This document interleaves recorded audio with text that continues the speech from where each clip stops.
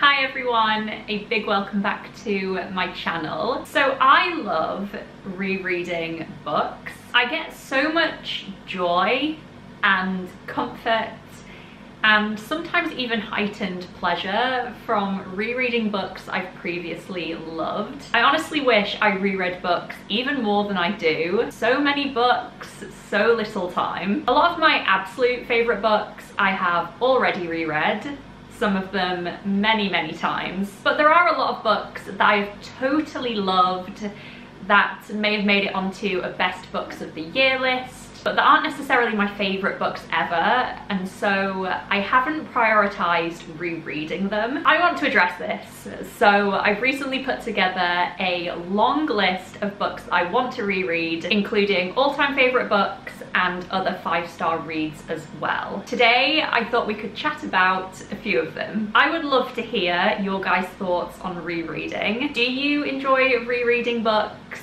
And if you do, do you just tend to reread all-time favourite books like me, or do you also make time to reread random five-star books? Please chat to me down below in the comments and also encourage me to get around to picking these books up again. So starting with an all-time favourite book that it has been too long since I last read, we have Tin Man by Sarah Winman. This is a short literary novel following two men, Ellis and Michael, who have been best friends since they met as boys in Oxford. It is told from multiple perspectives, it jumps around in time, ultimately building up a beautiful picture of these two men and their relationship. I first read this book in 2018 it became an instant all-time favourite of mine and I have since reread it many times. It was also my first experience of reading Sarah Winman and I now totally adore all of her work. This is a very short novel, it's less than 200 pages. It is a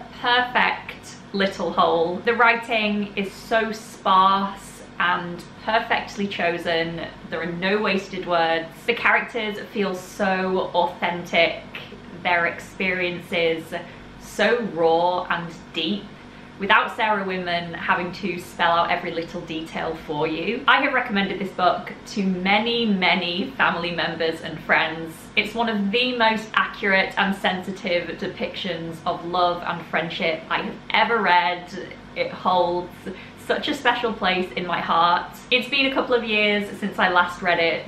We need to amend that. Next up, we have The Most Fun We Ever Had by Claire Lombardo. This is a chunky literary novel set in Chicago. It primarily follows a madly in love couple 40 years into marriage, as well as their four grown-up children who are all very different from one another and all going through their own personal struggles. All the while, a long buried secret threatens to surface and shatter the lives that they have all built. This was one of my favourite reads of 2020. I read it when it was longlisted for the Women's Prize. This book is just everything that I love in literary fiction. Family-focused saga following multiple generations, spanning multiple decades, intertwining character threads, a dash of drama and intrigue, massively pulls on your heartstrings. This book just felt so genuine and earnest. It's filled with those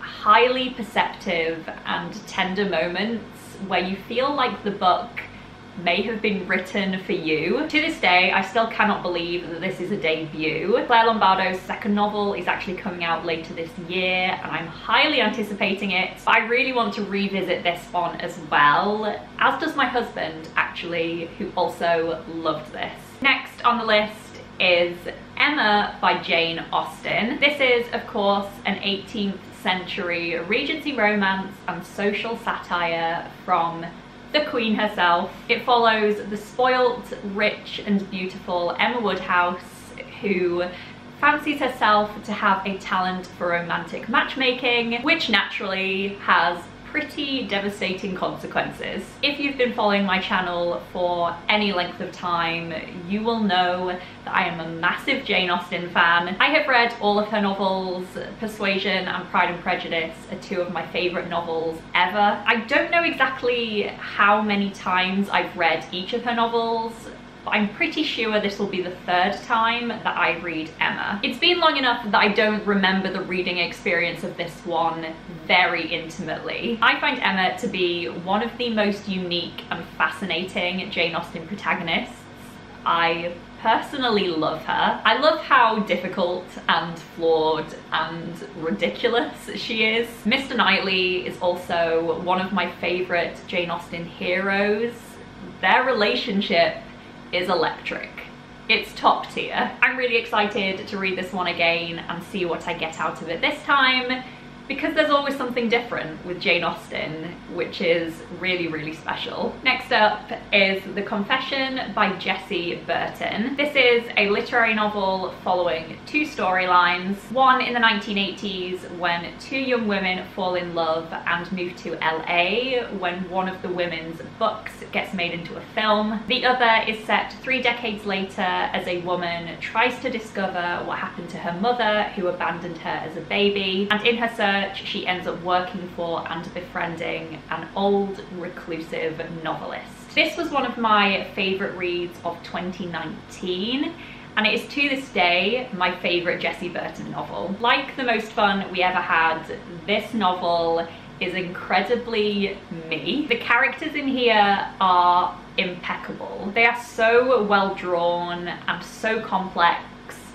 and so impressively consistent yet developed across timelines. The different relationships in here are fascinating. The explorations of motherhood and companionship and the relationship we have with ourselves. What always stands out to me about Jessie Burton is the way that she manages to combine these amazing characters with a real driving plot that provides such a forward momentum to the book. This balance is quite rare to find in literary fiction and I just remember being so impressed while I read. I felt like it delivered on every single front and I need to experience that again. And finally, for today, we have North and South by Elizabeth Gaskell. This is a Victorian novel telling the story of protagonist Margaret Hale as she is uprooted from her comfortable life in the south of England when her family move to a northern industrial town. Here, Margaret is made aware of the poverty and suffering faced by the mill workers and she embarks on a complicated relationship with a rich mill-owning man. This was my first ever Elizabeth Gaskell. I read it in 2020. She is now one of my all-time favourite authors and this is still my favourite book by her. This is pretty much perfect.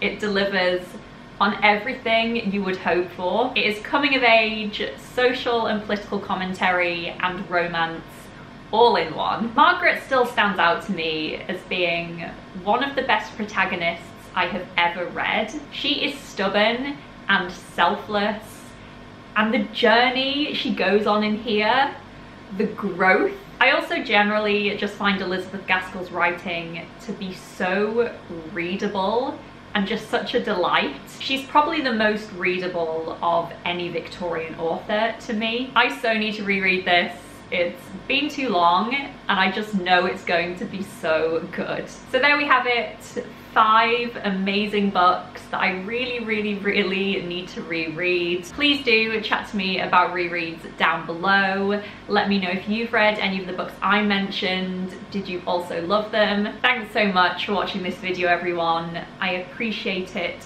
so, so much. I really hope you enjoyed and hopefully I'll see you very soon in another video. Bye.